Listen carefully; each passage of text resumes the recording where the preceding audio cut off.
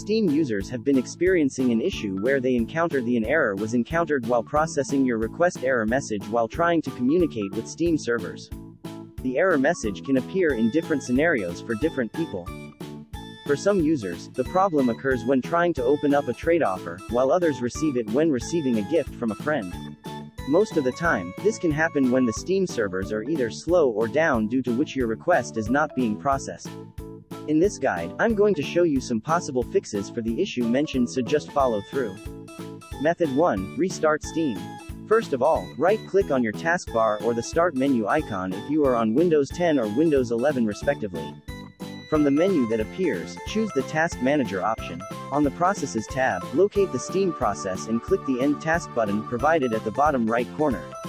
Once you have done that, go ahead and launch Steam again to see if that resolves the issue.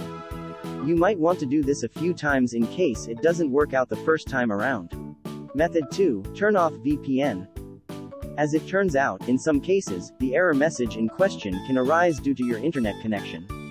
This especially can happen when you are connected to a VPN or using a proxy of sorts which affects the speed of your connection and thus can lead to the error message mentioned. As such, in order to resolve the issue, we would recommend turning off any VPN apps that might be running in the background and ensuring that you are using your base internet connection.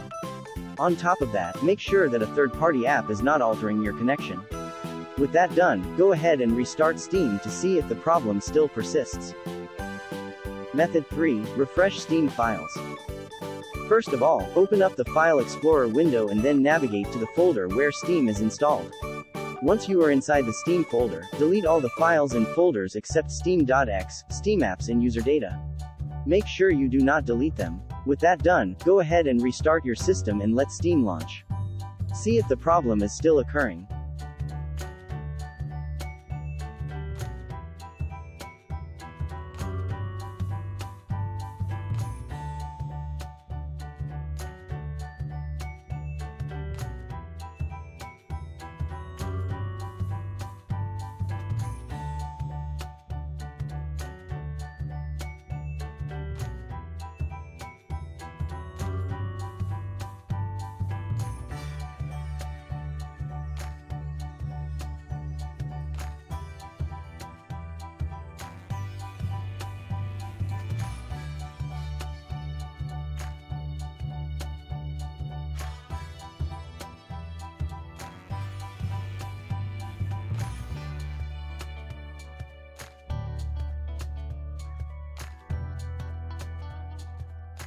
Method 4. Disable third-party add-ons.